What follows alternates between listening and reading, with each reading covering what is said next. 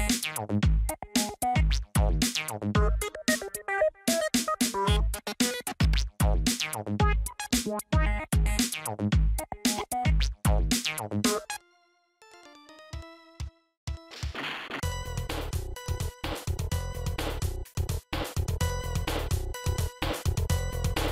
Salut à toutes et à tous, bienvenue sur cette vidéo. Alors en cherchant un sujet de chronique cette semaine, je regardais un petit peu la liste des genres de jeux et j'ai remarqué que j'avais oublié un genre très populaire dans les années 80 et 90.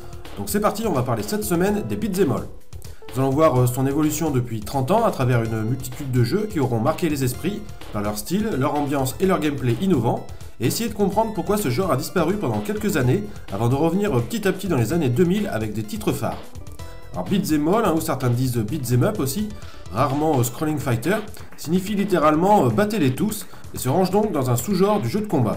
Dans les années 80, le public français adoptera le terme générique de jeu de baston pour le différencier des jeux de combat, qui connaîtra ses heures de gloire début 90, ce qu'on appelle aujourd'hui des versus fighting, et le genre beat'em all connaîtra une très forte popularité qui ira de pair avec le succès de l'arcade. Alors nous sommes en 1984, les jeux à succès sont principalement les shooters, qu'ils soient horizontal ou vertical, tels que Galaga ou Space Invaders, et la plupart des bornes d'arcade leur sont destinées. Il existe bien sûr les jeux de voiture et quelques jeux de boxe, mais rien en fait qui ressemble à un jeu de baston de rue. Il y a aussi déjà des, jeux de baston, mais étant donné les limites techniques, les aventures se passent sur un écran fixe, comme Samurai en 1980 de Sega, ou encore en 1983 Chuck Norris Super Kicks sur la ColecoVision. Le premier à véritablement se lancer dans l'aventure Beat'em All sera Irem, qui créera Kung Fu Master en 1984, connu sous le nom de Spartan X au Japon, un jeu inspiré d'un film d'action avec Jackie Chan nommé Wheels on Mills. Le jeu va poser les bases et sera considéré comme le premier beat'em all de l'histoire, c'est-à-dire euh, pour le scénario d'abord, on joue le rôle de Thomas, on doit aller sauver notre copine enlevée par un gang, puis par le gameplay puisque le jeu se déroule sur un unique plan horizontal et on se déplace vers la droite ou vers la gauche, et les ennemis apparaissent de tous les côtés. Notre but sera de progresser à travers les niveaux. Alors ici, euh, ce seront les étages du temple du démon pour atteindre le boss final. Euh, d'ailleurs, cette trame s'inspire pas mal du film Le jeu de la mort avec Bruce Lee. Dans Kung Fu Master, 5 niveaux, et on avance en tapant tout ce qui bouge avec pieds et poings, accroupi, debout ou en sautant, donc une palette de mouvements assez riche pour un premier jeu. Le jeu sera évidemment un succès d'arcade car le genre est tout nouveau, dynamique et accrocheur. C'est un jeu très accessible au mécanisme simple. Il sera porté sur beaucoup de consoles de l'époque. Les bases sont là, l'histoire du beat'em all peut commencer. D'autres éditeurs vont bien sûr se lancer dans l'aventure, les rois de l'arcade répondent présents. D'abord Taito qui sort Chinese Hero en 1984 aussi, mais présente le beat'em différemment, plutôt en vue de dessus 3 quarts, où le but est le même, buter tout le monde dans le niveau pour passer au suivant. Sega sera de la partie avec My Hero en 1985 ou encore Data East avec Metal Clash toujours en 1985. Chaque éditeur veut profiter du succès de ce nouveau genre et explore des gameplays légèrement différents. Konami va aussi se mettre au beat'em all avec Shaolin's Road en 1985, un jeu plutôt fun et bien réalisé. Les trois leaders en fait sur le marché à cette époque sont donc Konami, Taito et Irem. SNK et Capcom restent en retrait pour le moment et se concentrent sur les run and gun ou les platformers action, et le beat'em all de Sega n'est pas un énorme succès en 1985. Il faudra attendre 1986 quand Technos Japan sortira Neketsu Koa Kunio-kun pour que les beat'em intègrent véritablement la baston de rue dans les jeux. Technos n'est pas encore très connu et c'est donc euh, Taito qui éditera le jeu. Pour sa sortie américaine, le jeu sera beaucoup remanié et occidentalisé. Ce sera le jeu connu sous le nom de Renegade. Le beat'em va franchir un pas important avec ce jeu. Déjà euh, la baston de rue comme j'ai dit, mais aussi les déplacements dans tout le décor. On peut ramasser des armes, varier ses coups, faire des prises au corps, jeter les ennemis en dehors de l'écran, euh, des boss impressionnants, et toujours le passage de niveau en niveau. Énormément de bonnes idées pour ce jeu qui sera un gros succès d'arcade et sera repris par beaucoup d'autres all. Seul point noir euh, pour euh, Renegade, on ne peut y jouer que tout seul. Ce sera la prochaine évolution à faire d'urgence, et c'est en 1987 que Techno Japan enfoncera une nouvelle fois le clou dans la concurrence en sortant l'emblématique jeu Double Dragon, qui sera le premier à proposer un véritable mode de joueurs où ceux-ci peuvent coopérer ou s'affronter.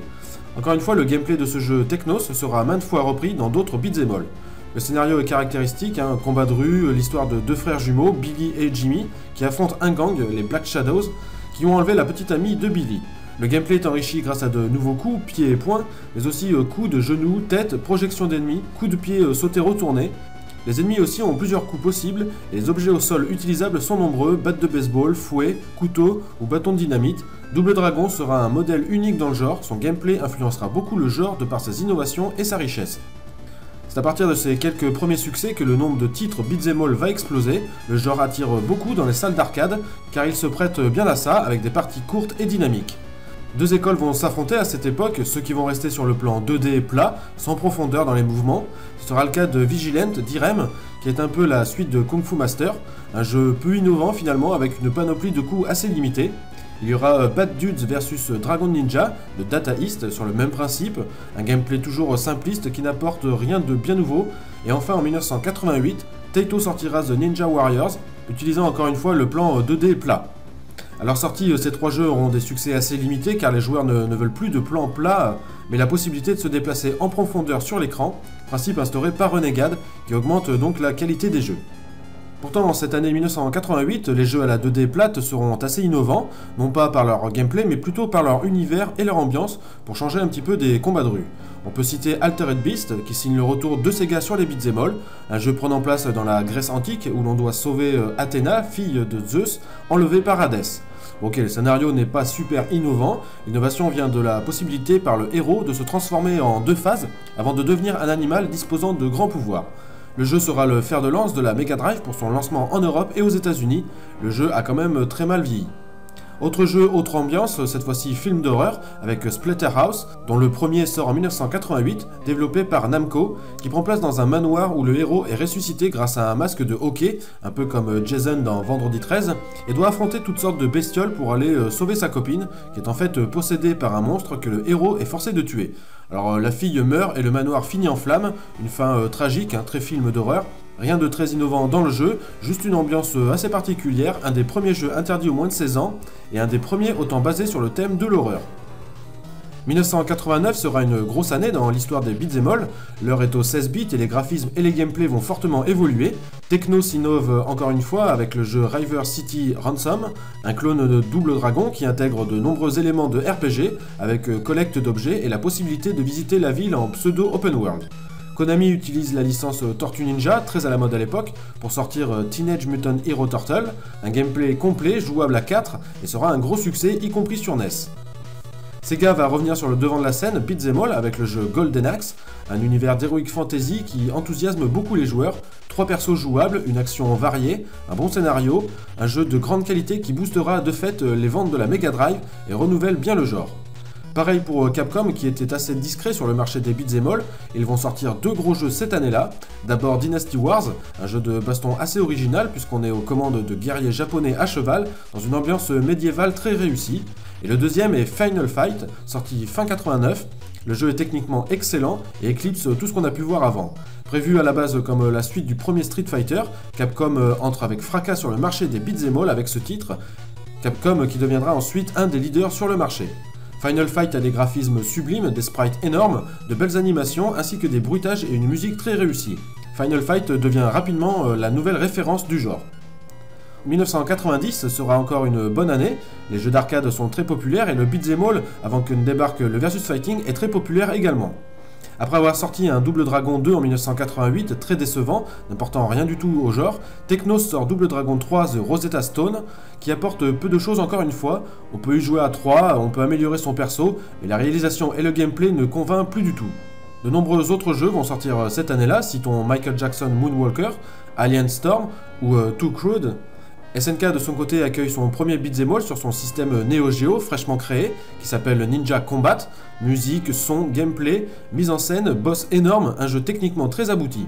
Et enfin euh, Last Battle, sorti en 1990, qui reprend un petit peu l'univers de dessin animé qui fait fureur à l'époque, Ken le survivant, Okuto no Ken, un jeu développé et édité par Sega qui ne marquera pas forcément les esprits par sa grande originalité. En 1991, le nombre de beat'em all est encore doublé. Alors je vais pas tous les citer, hein. en tout cas le genre est à son apogée, que ce soit avec Golden Axe 2, Riot City ou Sengoku, tous les jeux se ressemblent plus ou moins et surfent sur la vague. Un titre fera quand même exception et sera un immense succès, c'est Street of Rage, développé par Sega, par la Team Shinobi, une série qui sera une des plus populaires de la Mega Drive, reprenant quand même les principes de Final Fight. Ici on peut choisir parmi 3 persos et jouer à 2, 8 niveaux au total, un jeu assez long par rapport aux autres et une grande variété d'ennemis. La bande son n'est pas épargnée, elle est très bonne. On peut aussi interagir avec les décors, la palette de coups est importante, avec des enchaînements possibles, un gameplay donc excellent et d'une très bonne réalisation. Capcom reste quand même dans le haut du panier cette année, avec pas moins de 3 beat'em all développés, The King of Dragons, Knights on the Round et Captain Commando, de belles réalisations dans trois univers différents, de bonnes durées de vie, des jeux originaux qui prouvent le talent unique de Capcom dans ce genre.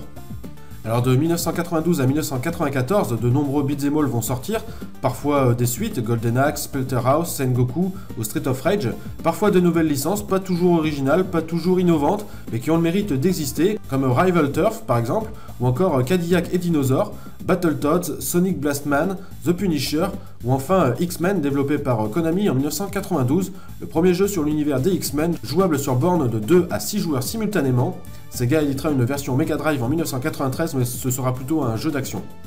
Malheureusement, tout a une fin, le genre euh, beat'em all va commencer à décliner. Les joueurs s'intéressent de plus en plus au versus fighting 2D, qui devient extrêmement populaire dans les salles d'arcade.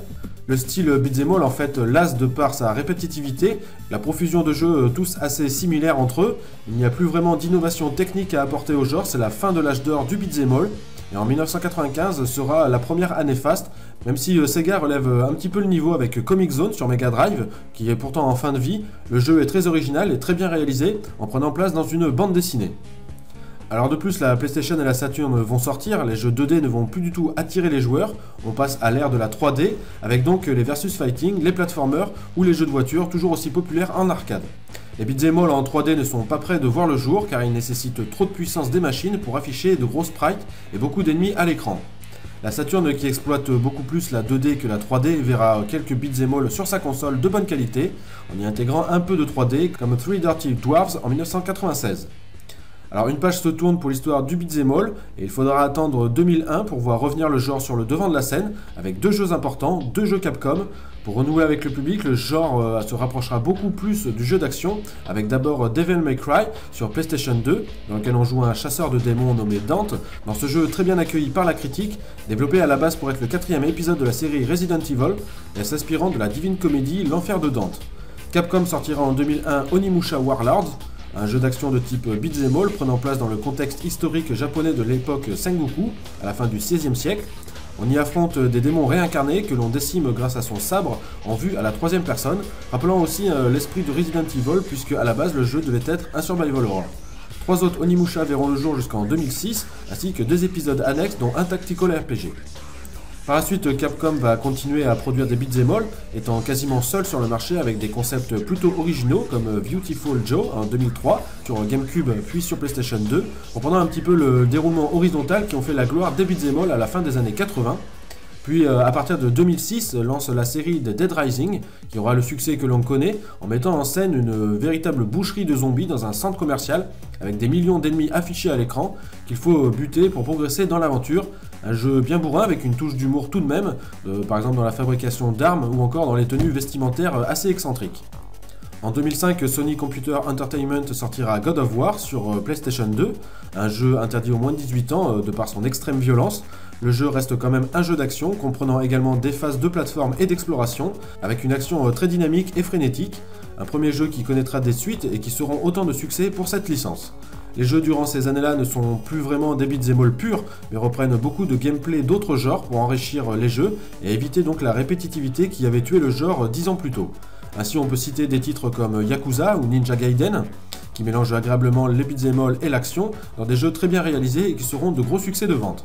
La plupart des beat'em all dans les années à venir seront des suites de jeux à succès comme God of War, Dynasty Warriors, Dead Rising, Ninja Gaiden, Yakuza ou Devil May Cry. Peu de nouvelles licences seront créées, excepté euh, d'abord Dante's Inferno, qui reprend encore une fois l'enfer de Dante dans un jeu très sombre et très glauque, mais aussi euh, Bayonetta qui sortira en 2009, développé par euh, Platinum Games et édité par Sega, un jeu conçu par le père de Devil May Cry qui met en scène une sorcière euh, plutôt bien roulée dans sa tenue moulante qui fera aussi partie de son succès, mais pas seulement, hein, Bayonetta n'est pas le premier jeu à mettre en scène une femme dans un beat'em all, le précédent a été Lady Master of Kung Fu en 1985, alors autant dire que ça date. Ici dans Bayonetta on devra triompher d'une succession de batailles en utilisant euh, des combos principalement avec des pouvoirs magiques et différentes armes. Le jeu sera très acclamé par la critique, le considérant comme l'un des meilleurs beat'em de sa génération.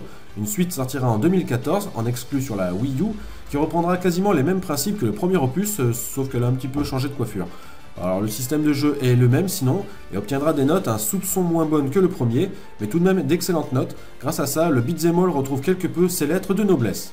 Voilà un petit peu ce qu'on pouvait dire sur l'histoire des beat'em un genre qui clairement a connu son apogée au début des années 90, avant de décliner complètement, euh, comme le montre ce graphique, dans le nombre de créations vidéoludiques.